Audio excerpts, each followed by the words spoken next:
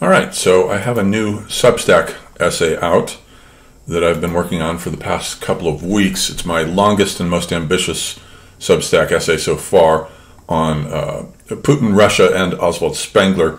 I had remembered that in Spengler reading his comments uh, about Russia, uh, there are not that many of them, but one of the things that he did say, so he makes this distinction between uh, a pre cultural phase and then the cultural phase, which then has an early cultural period and a late cultural period, and then finally a, a, um, a, a civilization stage, which corresponds to the four seasons insofar as the um, the uh, cultural phase, the early cultural phase corresponds to spring. So the pre-cultural phase comes before the springtime. Note that, and the late cultural phase has a summer phase and an autumn phase uh, that it corresponds to, and then finally the civilization, the decadent, degenerate civilization phase corresponds to winter. So, in a certain sense, there's five stages if you count the pre-cultural stage. Um, but it's very important because in that book, in the Decline of the West, he says that uh, Russia's Merovingian age, as it were, begins with Ivan the Three's, Ivan the Great's expulsion of the Tatars from Russia in 1480, and then his subsequent unification and major expansion of territory Let's take a look at that. I've got a couple of maps here. Um, and the, the comparison, the, the, one who inaugurates the Merovingian period uh, is actually Clovis. Um, and so here's a map. Um, these are morphologically homologous. In, in, other words, with respect to the West and with respect to Russia, uh, this is where each of them is at on their individual timelines. Both enter the pre cultural period with their sort of Merovingian stages. Uh, kind of easy to remember for Clovis because it, it's 480, whereas for Ivan III it's 1480. So this is what the kingdom looked like with the Franks and all these various disparate Frankish tribes. Clovis is the first to unify them. Starting in 480, he takes over the uh, the territory of Soissons and uh, fights the uh, the Romans, kicks them out, uh, takes over the territory of the Alemanni, uh, unifies all the Franks, the Ripuarian Franks. He, he himself is a Salian Frank, goes as far north as abutting the Saxons and the Frisians, whom he doesn't bother with.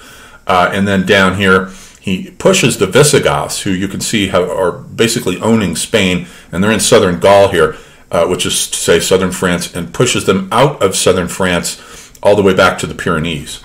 So it's a boundary act uh, that Clovis does here massively expanding and basically uh, ushering or inaugurating the West into its pre-culture phase now, which is a period that lasts in both cases, in both Russia and the West, for about four centuries.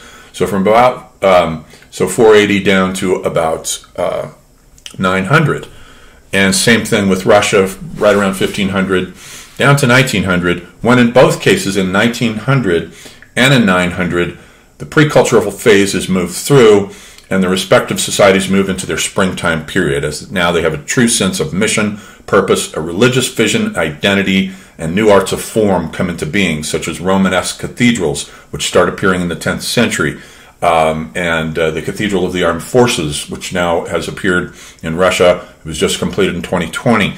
Um, okay, so this is the comparison uh, between Clovis and Ivan. Let's take a look at what Ivan did. So Ivan III, Ivan the Great, not Ivan the Terrible, he comes almost a century later in the 1550s. Um, but this is what it looked like before Ivan III's conquests.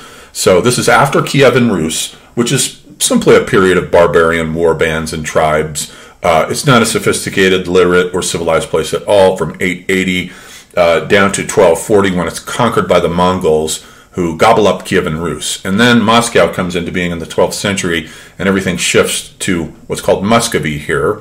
Here's the name Muscovy, centered in and around Moscow, which is over here.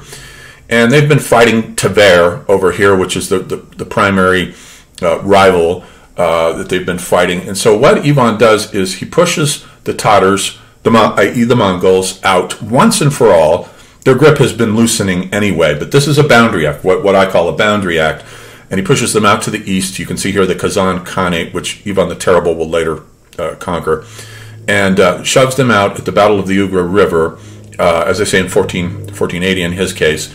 And then he proceeds uh, on a massive geographical conquest that triples the size of Muscovy. Up here you can see the Republic of Novgorod, which is a very large area, Tver over here. And Lithuania, meanwhile, uh, has t- Poland, Lithuania, has taken over the territory that was that used to belong to Kievan Rus. Uh, Rus. Um, Ivan wants it back. And so what he does then, here is the map showing his conquests. Then here's the initial core, very homologous, which is a term Spengler uses to show similarity of form as opposed to similarity of function in biology.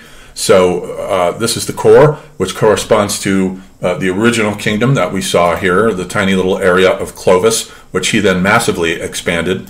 Here, he has taken over the Republic of Novgorod, a very large area geographically. He's finally taken over Tver, shoved out the Tatars, and has taken a huge chunk away from Lithuania, the original zone of Kievan Rus, which down here you can see he's taken Chernigov, um, and uh, just Kiev lies just slightly outside of the zone.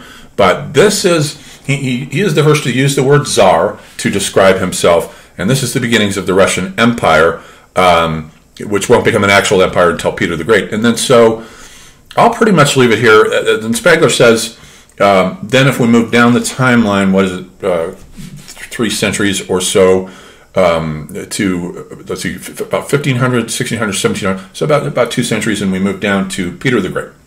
And so Peter the Great is homologous, that is to say, corresponds to Charlemagne. Uh, they both uh, bring in pseudomorphoses Peter the Great pseudomorphizes Europe by or Russia by Europeanizing it and creating uh, what Dostoevsky regarded as, as, as, a fake city, St. Petersburg. And then Charlemagne imports a dual pseudomorphosis, Magian Byzantine, that's Spengler's word for the Judeo Christian Islamic Byzantine civilization, um, with the, uh, the palace of Aachen, which is designed on the model of a Byzantine church but also it has uh, Spanish Umayyad Arabic influences on the inside, such as the candy striping in the architecture. Uh, and of course, the classical Greco-Roman pseudomorphosis in that he's trying to revive the ghost of the Holy Roman Empire. Uh, he brings in all these scholars, raises the standards of learning, uh, tries to learn how to read himself and sign his name in a very frustrating way. But uh, it's it's a major event. It's been called the Carolingian Renaissance, and it begins to uh, give the West its identity, and it finishes out the West's pre-cultural period, which then ends right around 900. So my question in all of this was, if Spengler is right about these um, contemporary timelines, and I believe that he is, I, I, think nobody had a better eye for culture forms than Spengler, then what does Vladimir Putin, what, what is he homologous to? If we go down the timeline, uh, who's he homologous to? The, around the year 2000, and then go down a few centuries to the Western timeline. What figure uh, does he correspond to? And if you want to find out who I think that is, and I'm pretty certain I've nailed it, uh, you have to subscribe. $5 a month or $80 a year. Um, and uh, I also do private astrology readings for those interested. Hit me up at johndavidebert at gmail.com. I also do private uh, tutoring for those who want to want me to walk them through chapter by chapter a work of difficult philosophy. I charge for that, of course. Um, okay, so uh, I'll leave it there and see you on Substack.